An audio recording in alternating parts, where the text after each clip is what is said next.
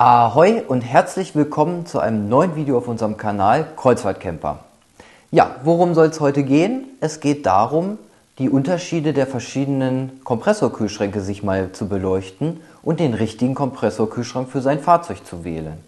Und äh, da haben wir zwei Arten hier, die wir zu, ähm, im Prinzip im Betrieb hatten oder haben und äh, konnten einige Erfahrungen damit äh, betreiben und die wollen wir natürlich an euch weitergeben. Aber das erfahrt ihr alles nach dem Intro.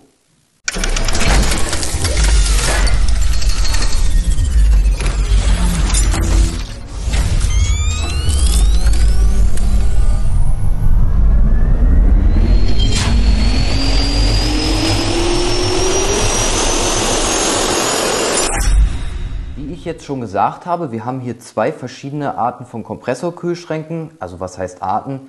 Äh, Bauarten, sagen wir es mal so. Die sind ein bisschen anders gebaut und darauf gilt es darauf zu achten. Und zwar einmal haben wir hier auf dieser Seite, das ist zu meiner linken Seite, der Dometic und zwar der MDC 090K. Dieser ist bei einigen Fahrzeugen verbaut und hat auch eine Leistung von 45 Watt. So, 90 Liter Größe, also auch relativ groß. Die sind beide fast vergleichbar. Der hat hier 85 Liter, also das heißt 5 Liter ist der kleiner, dafür aber mehr Leistung. Und der andere Kühlschrank, das ist einer, ein Kühlschrank von äh, Wemo, das ist eine Schweizer Firma, die diese, her, äh, diese Kühlschränke herstellt.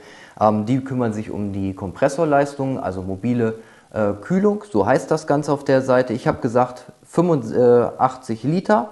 Wir haben eine Leistung von 70 Watt statt 45 und ähm, ja, ansonsten ist das das Modell, jetzt muss ich selbst einmal gucken, und zwar ist das der Wemo 85N.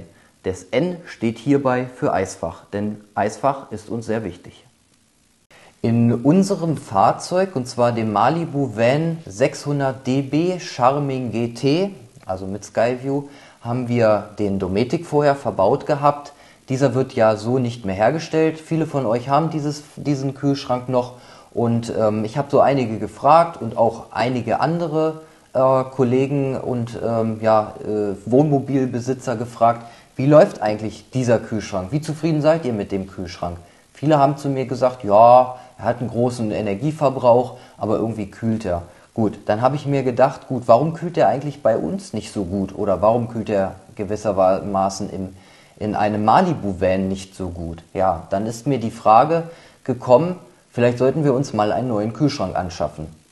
Und auf der Messe, und zwar der CMT in Stuttgart, habe ich äh, den, ähm, ja, ich weiß nicht, ob das der Inhaber war, zumindest einen sehr, sehr fachkompetenten Mitarbeiter der Firma äh, Wemo getroffen. Die haben mir dann mal ein bisschen erklärt, wie eigentlich so ein Kühlschrank funktioniert.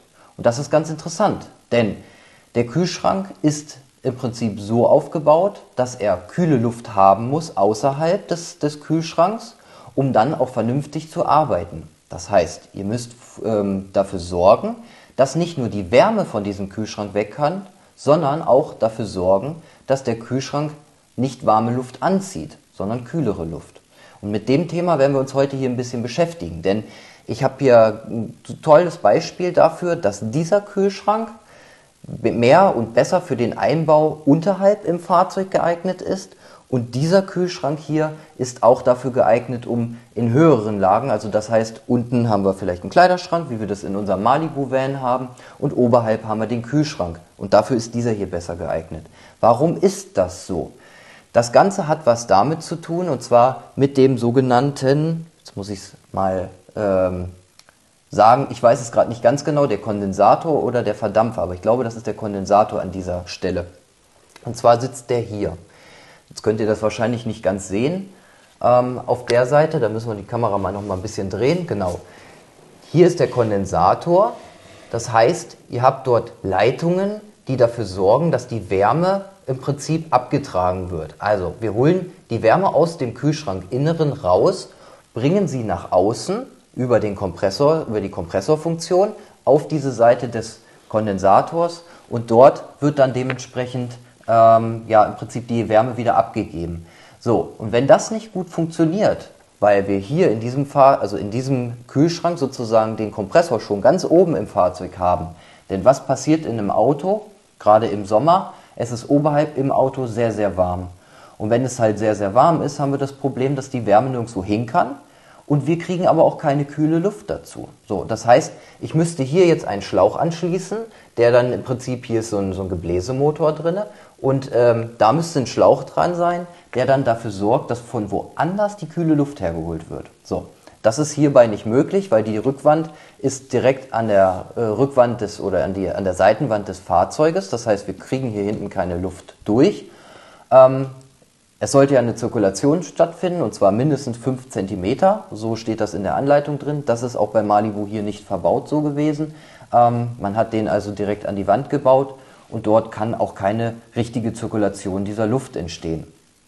Gut, was ist bei diesem äh, Kühlschrank anders?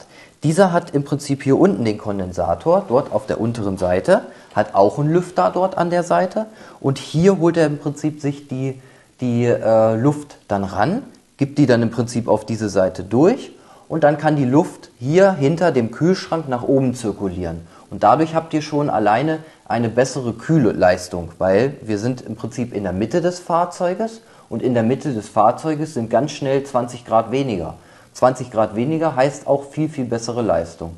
Und der Kompressorkühlschrank muss nicht die ganze Zeit an, äh, wieder anlaufen. Ja, wenn ihr sozusagen noch richtig gewieft sein wollt und nochmal richtig Leistung aus dem Gerät rausholen wollt, müsst ihr auf diese Seite, wir müssen da euch mal gleich ein Foto zu einblenden, dort ist im Prinzip die, äh, der Lüfter, der das Ganze ansaugt und wenn man dort dafür sorgt, dass man dort einen Schlauch aufsetzt, der dann im Prinzip irgendwo hinführt, wo es kühler ist, also wo er sich kalte Luft anhol, ansaugen kann, dann haben wir im Prinzip die optimalste Leistung. Das Ganze war jetzt natürlich relativ technisch, also relativ, ein Experte bin ich nicht, also seht es mir bitte nach. Ähm, ich will euch nochmal darauf hinweisen, wenn es bei euch Probleme gibt mit der Kühlleistung oder wenn ihr denkt, dass der Kompressorkühlschrank sehr, sehr viel Energie verbraucht. Entweder, dass ihr das messt und guckt, wie viel hat er denn über, zwei, äh, über 24 Stunden an Verbrauch gehabt.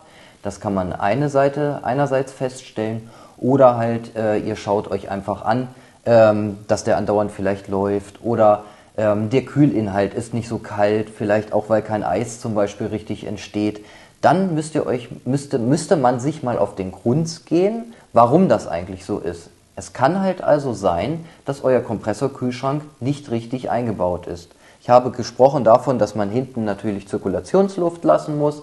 Das heißt, ihr müsst dort 5 cm mindestens an, an Abstand zur Rückwand haben, damit die Luft schön zirkulieren kann, also die warme Luft auch abgegeben werden kann. Und das zweite ist halt, ihr müsst mal schauen, wo der ähm, Kondensator, nein, jetzt habe ich es wieder, glaube ich, falsch, der, der äh, Verdampfer sitzt. Ähm, und zwar, wo der Verdampfer sitzt, wo ihr dann im Prinzip, ähm, ja, der in diesem Fahrzeug oder in diesem Kühlschrank verbaut ist, ob der auch optimal gekühlt wird. Wenn das nämlich nicht der Fall ist, dann habt ihr genau diese Probleme, die wir auch haben.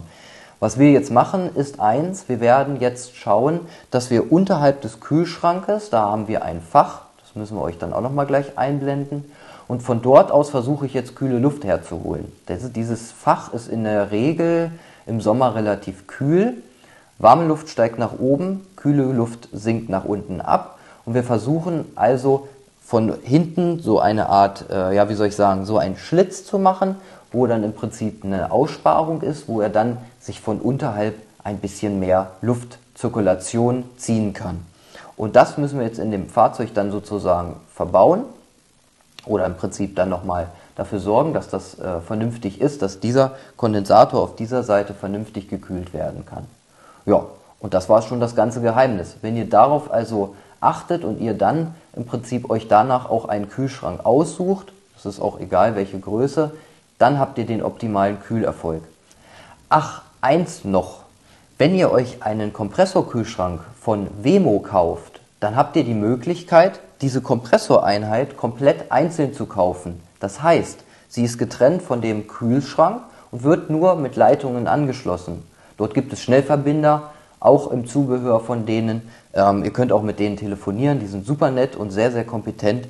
Und wenn ihr dieses, diese Kühleinheit also woanders hinbaut, zum Beispiel unterhalb irgendwo im Fahrzeug, wo es viel kühler ist, dann habt ihr auch die bessere Kühlleistung. Natürlich muss bei euch der Platz dafür ausreichend sein.